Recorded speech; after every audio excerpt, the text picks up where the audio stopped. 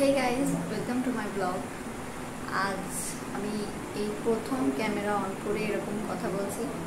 জানি না কি বলব, কি বলতে হবে, একরকম ভেবে রাখছি, একরকম হচ্ছে। যাই হোক, সাহস করে তাও অন করেছি।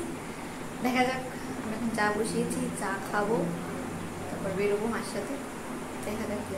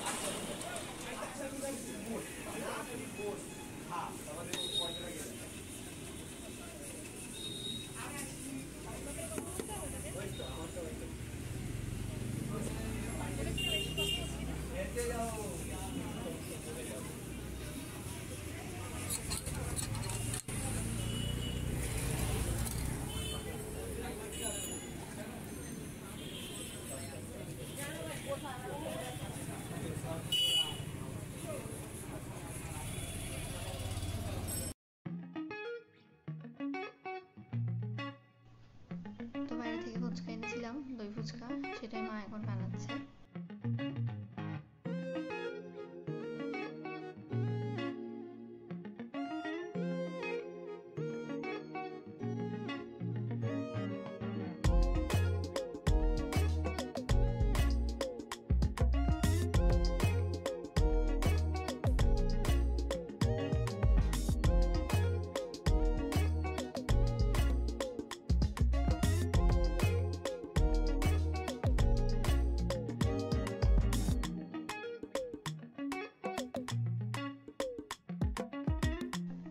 দোকান থেকে ঝুড়ি ভাজা দেয়নি।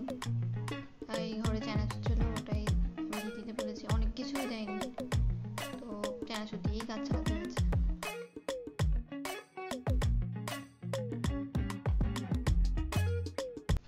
তো পরের দিন সকালবেলা উঠে দেখি বাবা পমফ্রেট মাছ এনেছে। তো আমার পমফ্রেট, ঘি, রোস্ট খেতে অনেকদিন ধরে ইচ্ছা করছিল। তো আমি ভাবলাম সেটাই করি। আর আমি কালকে আর ব্লগ করিনি, আমার খুব মাথা ব্যথা করছিল। আগে থেকে মাছগুলোকে নুন লঙ্কা মাখিয়ে রেখেছিলাম। এখন কাঁচা লঙ্কা, রসুন আর আদা পেস্ট করে তারপর ওয়ান টেবিল স্পুন বেসন আর টু টেবিল স্পুন ময়দা দিয়ে মাখছি। তো এবার মশলাগুলোকে মেখে এবার মাছের গায়ে মাখিয়ে দেবো। ভালো করে কোট করে নেব।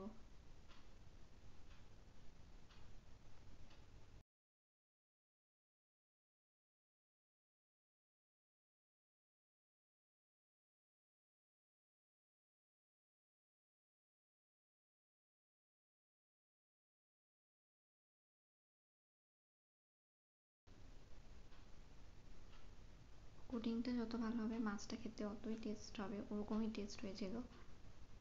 তো আমি এখন দু চামচ লঙ্কার গুঁড়ো আরও দিয়ে দিলাম, কেন আমার মনে হচ্ছিল ঝালটা কম হবে, সেই জন্য।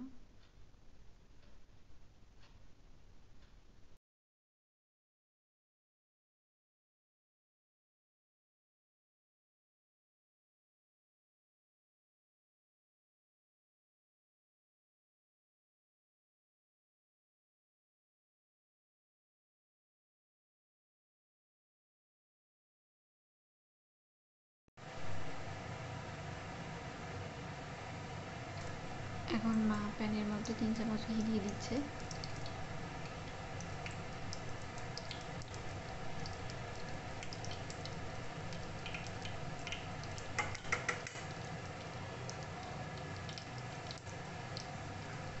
এরপরে পেঁয়াজ দিয়ে দেবে।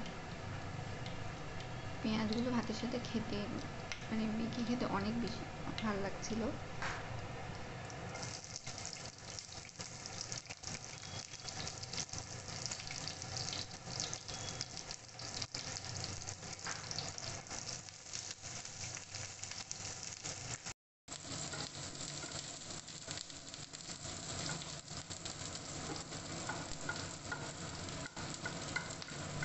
এখন পেঁয়াজগুলো সাইড করে মাছ দিয়ে দিল।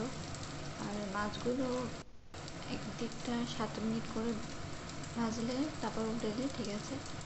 আর মানে একটু কড়া করে ফ্রাই করে দিলেই সেটা বেশি ভালো লাগে। খেতে।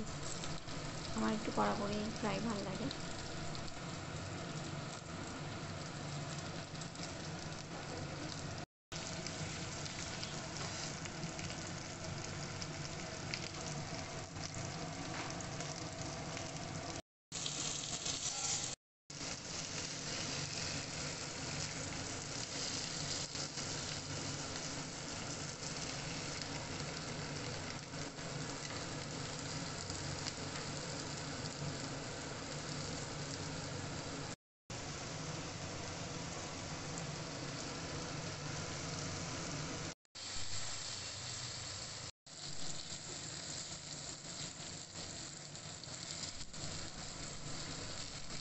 এই দুটো মাছ ভাজা, ডান। এই দুটো মাছ তুলে নেওয়া হচ্ছে তারপরে তিনটা আবার দিয়ে দেওয়া হয়েছে।